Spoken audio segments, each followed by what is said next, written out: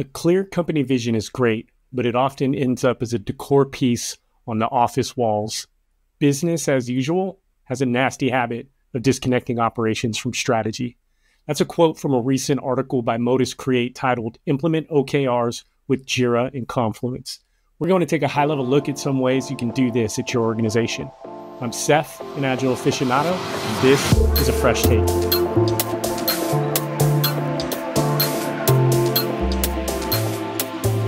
All right, first let's get a few things out of the way up front.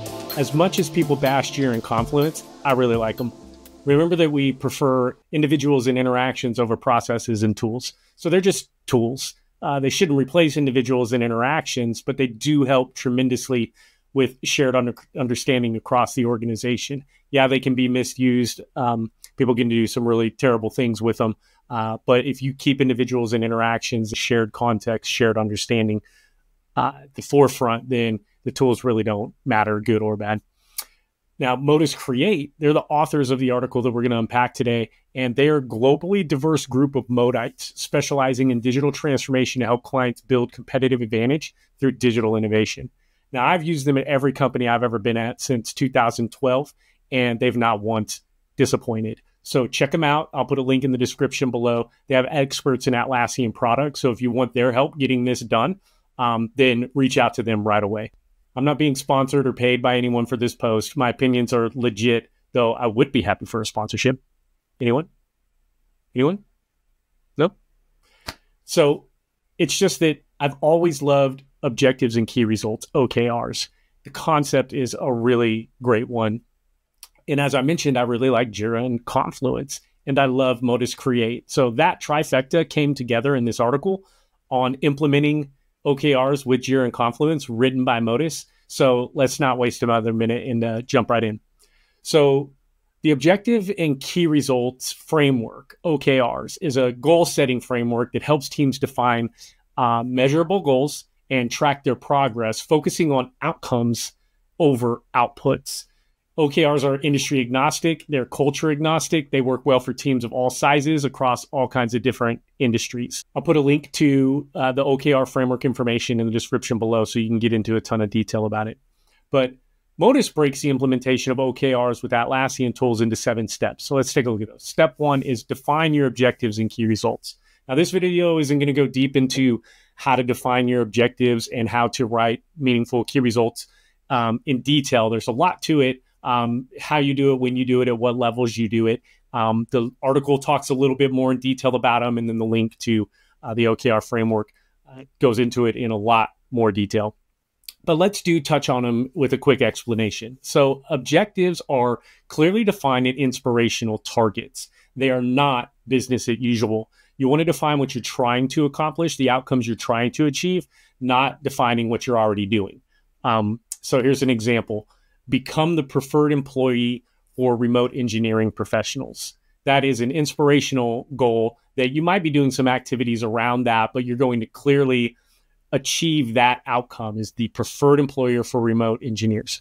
Now, key results describe how you're going to achieve an objective, and there should be about three to five of them per objective. Any more than five, and it's unwieldy in tracking um, the success of all the key results against the objective, and any less than three um, means that the objective is probably a little too specific and has measurements built into it.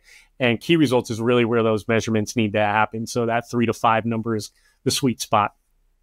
Now, key results are defined in a way that they're measurable, and when accomplished, they complete the objective. If you can do all the key results and not achieve the outcome that the objective is striving for, then you don't have the right key results.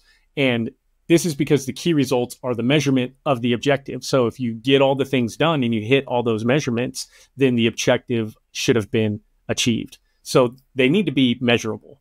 Here's some examples of concrete and measurable key results versus ambiguous key results based on the example objective of becoming the preferred employer for remote engineering professionals.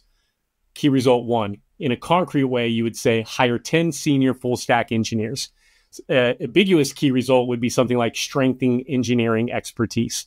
It's the same thing, sort of, but you're not being specific. 10 senior full stack engineers. Did you get 10 of them? Were they senior? Um, another concrete second key result here might be promote three engineers to leadership positions. An ambiguous key result would be motivate existing team members. Now, career progression is obviously a great way to, to motivate, but just saying you're going to motivate leaves the door too wide open to what that motivation is going to look like. And how do you measure whether or not you did motivate it? So the assumption here is that promotions of three key engineers is going to motivate them and others for their career advancement potential. So you say promote three engineers. You can measure that. Did you promote three? The other thing is you could say three or more. Um, another concrete, the third kind of concrete key result could be launch new onboarding process in Q2.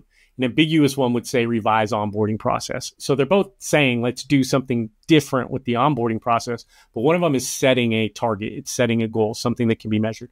Did we uh, launch? Did we not only revise the onboarding process, but did we launch it and are we using it in Q2? So that's the first step is you got to define those objectives and then you got to define the key results for the objectives. And then once you have that done, the next thing is is is understanding the reporting requirements. And really, it's not a once you have it done, you need to understand the reporting requirements. But the second step mentioned in the article is understanding reporting requirements. Now, I think that one of the ways that you can create meaningful and measurable key results for your objectives is to understand what metrics are going to be measured to determine the outcomes. Right. So if you have a high level objective of become the premier um, employer for remote engineers, then there's an idea of how we know that we've accomplished that. And if there isn't, there needs to be some specificity of what that's going to look like. And you discuss what those metrics are going to be. How would you measure it? How would you know that the outcome was achieved? How would you know that you're falling short of the outcome? And then those metrics, understanding um, how you're going to measure the outcome almost inadvertently become the key results. So you define those metrics, um, and then a metric gets assigned to a key result. A key result belongs to an objective. And again, if you're tying your metrics to key results and you're keeping your key results somewhere between three to five, and any organization should probably have three to five objectives in flight at any given time, depending on its size and its ambition and its ability to, to, to handle.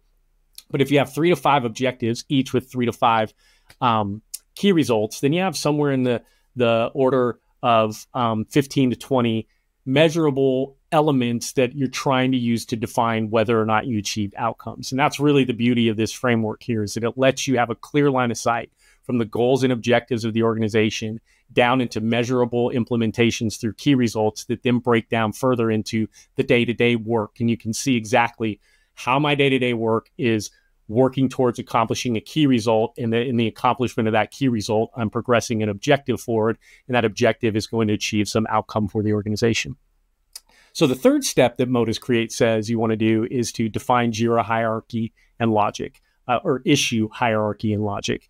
And out of the box, Jira has a three-tier issue hierarchy. It has epics, issues, and subtask issue. Uh, people name these all kinds of different things. Uh, issues might be called stories. They might be called something else. Um, but the the top level in Jira out of the box is an epic. Issues belong to it, and then tasks belong to to that you're going to need more than that to do objectives and key results. You're going to want something like goals. I've seen them called themes or initiatives. These are high level issues. They're your annual or multi year outcomes you're working towards achieving. You're going to want objectives. Uh, these are usually typically around a quarter. Um, and then you're going to want a key results issue. And those are typically a quarter or less. Um, now, the article is going to go into much more detail on the issue hierarchy and their relationships to one another, what belongs to what, what can be assigned to what, and then the difference between OKR issue types and work item issue types. So go give the article a read to get details on um, what that structure looks like fully integrated. But just know that you're going to need more than the first three um, items that come with Jira out of the box. Step four is implement custom hierarchy in Jira. Now, advanced roadmaps in Jira, it's a feature of the Jira Cloud implementation, uh, enables you not only to set up that custom issue hierarchy, but it facilitates visualizing whatever macro or micro level of that uh, work that you want or those issues that you want. Um, so all the teams doing their work just like normal. They grab a story or a task, they progress it through its uh, Kanban board in Scrum or Kanban or however you guys are doing your your agile work. They progress their work through just like normal. You don't have to change anything about that implementation in Jira. Instead, you're layering on top of it with advanced roadmaps and these custom issue types to where now those issues are belonging to maybe epics and the epics belong to a key result. The key result belongs to an objective that belongs to some larger annual or multi-year goal. And so in the advanced roadmap view, you can see all the way up and down that chain at whatever level you want. So if you're reporting on information or somebody's looking at information, um, it's it's real time or near real time uh, information. They could be looking at you know how well have we progressed on uh, the key results against this objective. So maybe you're only looking at objectives and their key results, and you can see the progress of the key results. Now that is a roll up of epics or issues that are under the key results that then belong in sprints or or however you're managing that in Jira. But then you can drill all the way down into your day to day work, and developers at any point in time can take a look at a story or a task and say that what does this task belong to? Okay, it's this story. That story belongs to this epic. That epic belongs to this key result, which is moving this objective forward to accomplish this goal. And so it creates a clear line of sight from your aspirational um, objectives down to the day to day work, which increases engagement, energizes people towards accomplishing those things because they know where their work fits in the larger picture. And then the larger picture is comprised of the work that's actually being done. The fifth step that Modus Create recommends is to set up an OKR dashboard. Now, OKRs are um, only effective if the goals and progress against those goals are communicated and visible to the entire organization. So advanced roadmaps helps you do that. And the article goes into a lot more detail on how to set advanced roadmaps up. Um, but then also you want to set up a counterpart um, in like dashboards. So Jira has a bunch of reports out of the box and charts out of the box, uh, but you can augment that also with other tools like custom charts for Jira, um, or structure. And these allow you to create incredibly powerful visualization from your JIRA issues so that you can look at a dashboard of metrics that are comprised of the measurable key results belonging to objectives. And so you can see in single shots on an objective level or maybe at multiple objective levels or multiple objectives at once, you can see the progress status where you're at with it. Now, again, these tools are not intended to replace the individuals and the interactions. So we do prefer the individuals and interactions over the processes and tools, but we still value the processes and tools. It's like reading a book. You wouldn't expect the author to tell the story to every individual themselves. Instead, they cap they capture it, encapsulate it in a book, and then disseminate the book to multiple people who can self-serve the information. And so your Jira dashboards work similarly to that, they're more dynamic in nature because it's like a book that can constantly be updated um, with content without having to re re-deliver it. Uh, which you know, audiobooks, I guess, and ebooks uh, have that benefit. Man, technology is awesome. But um, but these dashboards serve that same purpose. It's not the specific tool necessarily, and you're not living in in making decisions based on what you're seeing in the numbers, but those numbers do inform your interactions. They do inform what individuals are doing and how that's progressing the organization forward. So the sixth thing that you're going to want to do is um, create documentation in Confluence. So again, part of radiating the information is core to objectives and key results. I should at any point in time be able to see what the objectives and key results are of any particular team or individual on a team um, all the way up and down the entire organization. So just like advanced roadmaps allows me to track progress and see work done against these as well as, you know, see the actual objectives themselves.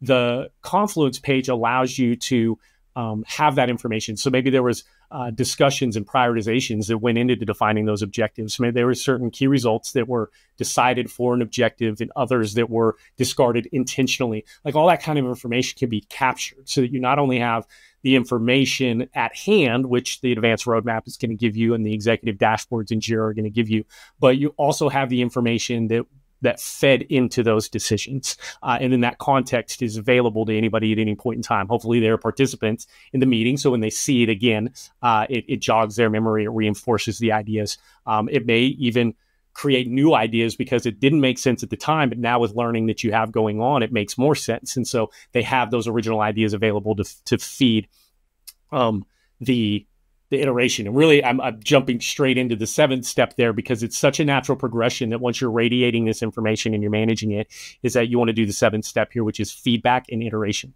OKR implementation is not this one time bang and you're done. It's it's not a prescriptive process. It's it's something that you roll out. You roll out um, over time, and you define, you refine it and and redefine it, and you iterate on it, just like anything else that you would do in your organization with a, that kind of agile mindset, that agile approach. Is you view it with transparency, you measure it, you inspect it, and you adapt. And so that's true with OKRs. So the point is that as you see these status updates, as things are progressing along, you can see that an objective is not reaching its completion. What are the conversations happening behind why? Can it be recovered? Does it need to be abandoned? If you know three quarters of the way through uh, uh, a quarter or um, a third of a way through a quarter that you are not going to obtain that objective, then the question can be asked Is it still worth us churning on it through the end of the quarter if it's not going to if it's not going to be accomplished? Are there any ideas that we can pull out of our hats to salvage the accomplishment of that objective? The other thing is, is that some objectives finish faster. And so then you have opportunities there to then augment and, and start forward looking at, at more work to be done. You don't have to drag out the um, the questions around is it really done? Is it done done? Um, you know, those types of things. So the measurement of it allows you to then have immediate feedback and you can iterate on it. It reduces those feedback loops from iteration to iteration. You can see things in real time. You don't have to wait till the end of the quarter to say, did we accomplish what we were trying to accomplish? Um, and again, you might have a bunch of lagging metrics that are beyond the scope of an, of an, of an objective and key result um, that you're going to measure for the overall success. But if you're able to define those leading indicators, KPIs, or the activities that need to take place with specificity that, if done, set the objective up for success, allow you to complete that objective, um, then you can measure those lagging indicators to say, okay, how well did we define the key results? If we thought all these things would create the outcome that we looked for, we knew it would accomplish the objective, but did it create the outcome we were trying to achieve? And if not, how can we better couch our key results against objectives for future objectives. And then what does it mean that we didn't hit what we were trying to hit? And then that factors into uh, future objectives against your annual or multi year goals. So now that you have those outcomes defined through objectives and measured through key results, you can manage the system and prioritize or optimize it for minimizing your output and maximizing your outcomes. All right, so let me know in the comments. Have you used OKRs? Have you ever seen them? Used? Um, have you used Atlassian products to use them uh, together? Or do you even have a completely different way of creating a clear line of sight from your goals and high level uh, strategic objectives down to the day to day work of individual uh, contributors and teams? Um, feel free to post that in the comments and let me know. Also, don't forget to like and subscribe. That really helps get the reach out there for me. So until next time, stay agile, aficionados.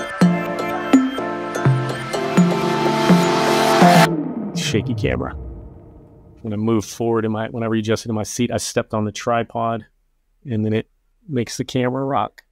So let's try that again.